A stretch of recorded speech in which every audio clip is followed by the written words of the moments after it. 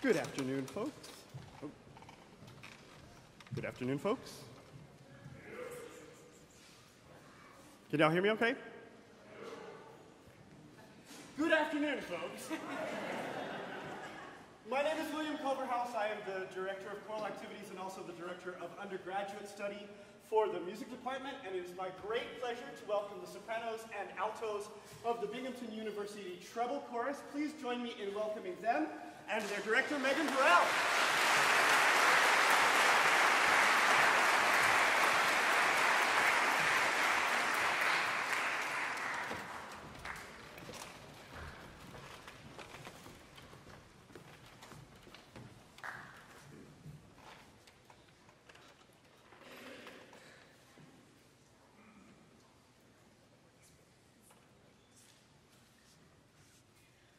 Our soloists on the first piece will be Sarah Matesic and Mai Ghosh.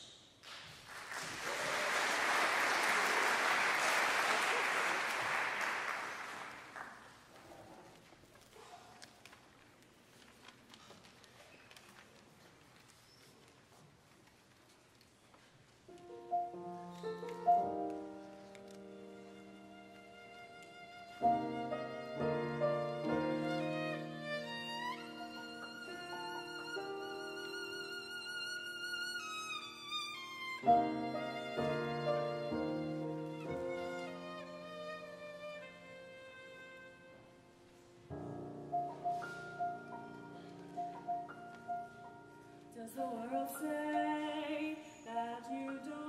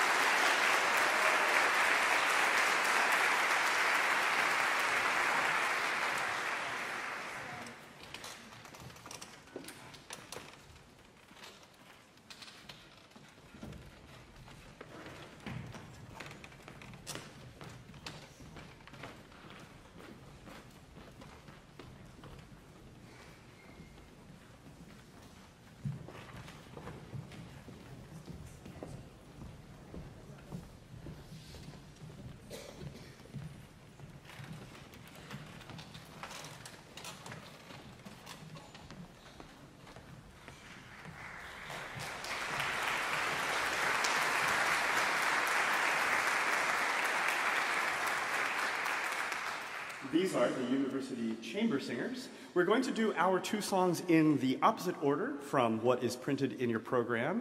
And I would like to introduce as the two soloists for Underneath the Stars, Noah Walsh and Ava Portmore. This is, uh, yes, there they are. This is a wonderful arrangement of a tune originally by Kate Rusby um, that was made for the vocal ensemble Voces 8 by their arranger Jim Clements. And so this borrows a little bit from contemporary a cappella. Enjoy.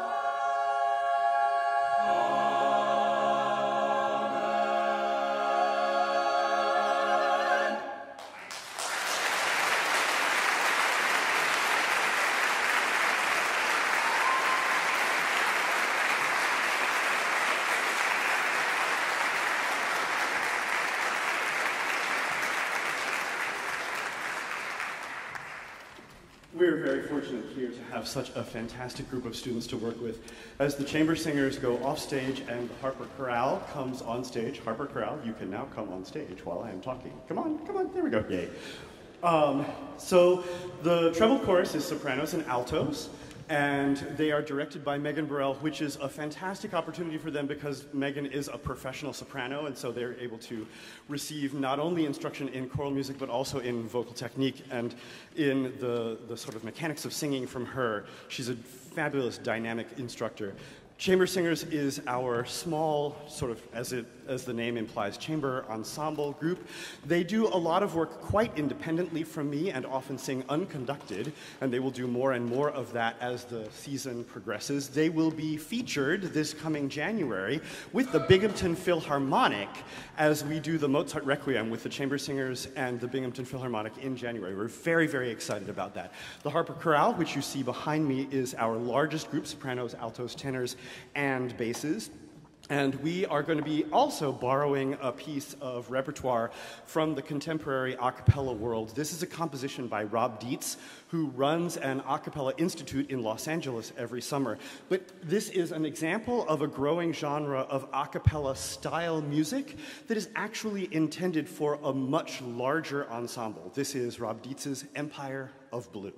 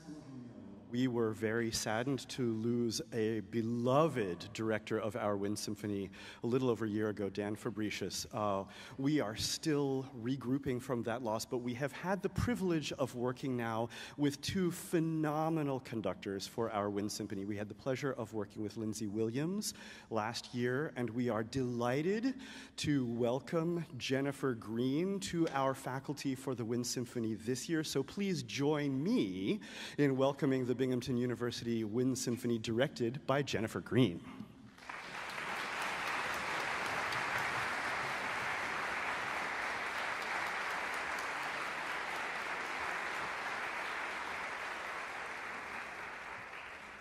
I'm not going to talk a lot before our first piece. Um, did the woodwinds get a chance to tune? Did you tune? Okay, all right. Um, I, all I'll say is I'm really excited to be here. This is a great group of students to work with. Um, the first piece of music we're going to play, I think you'll enjoy. I actually played it in high school and loved it.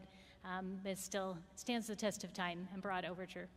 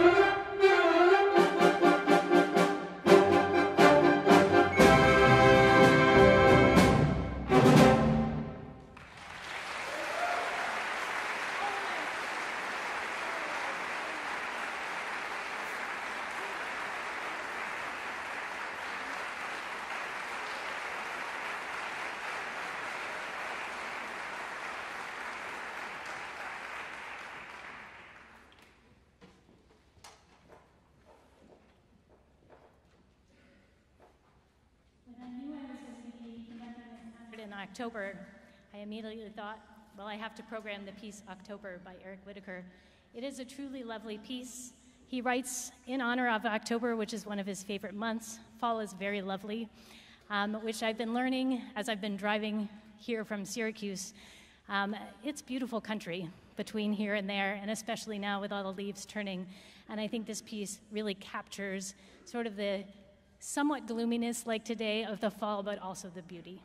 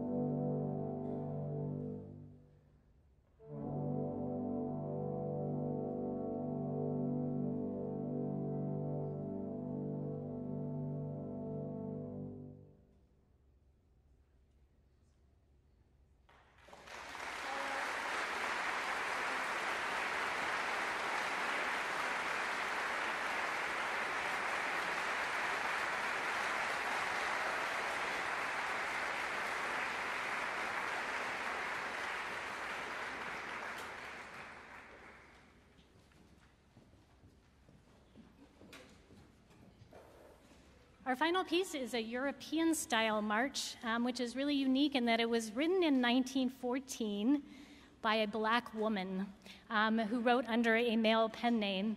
Um, and her work has been recently rediscovered and reorchestrated. And we're very pleased to present it to you today. There's nothing like a march with a band, so we hope you enjoy On Parade.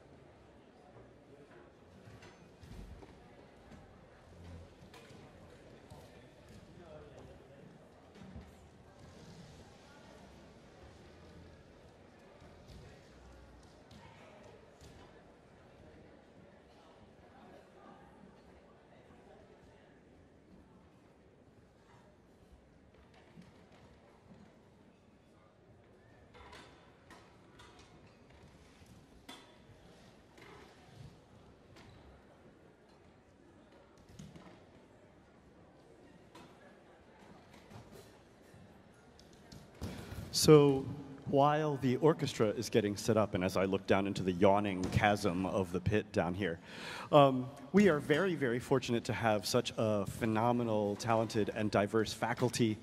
And one of those faculty members, Paul McShee, who is the director of our orchestral program, is actually out on paternity leave right now with his little baby daughter, Fiona. And so we are particularly pleased to have a thriving graduate study program at Binghamton University in our music department, in addition to all of our undergraduate lessons and ensembles and courses that we offer. Among those graduate students are students in voice and composition and instrumental performance, and also conducting.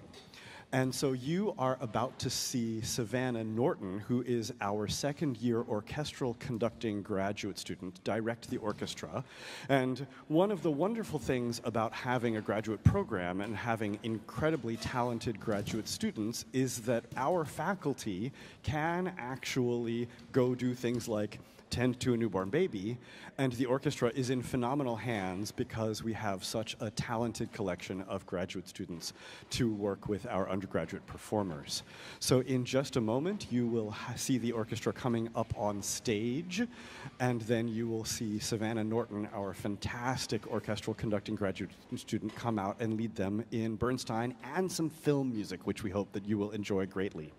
So I just wanted to say thank you once again to all of you for spending a portion of a rainy afternoon, hopefully indoors, not getting rained on, and enjoying yourselves with some fantastic music making. We hope that your trip this weekend to see your family members and your extended family members and whoever else you may be visiting is an enjoyable one. Thank you once again for joining us, and we will be continuing with the orchestra in just a moment. Thank you.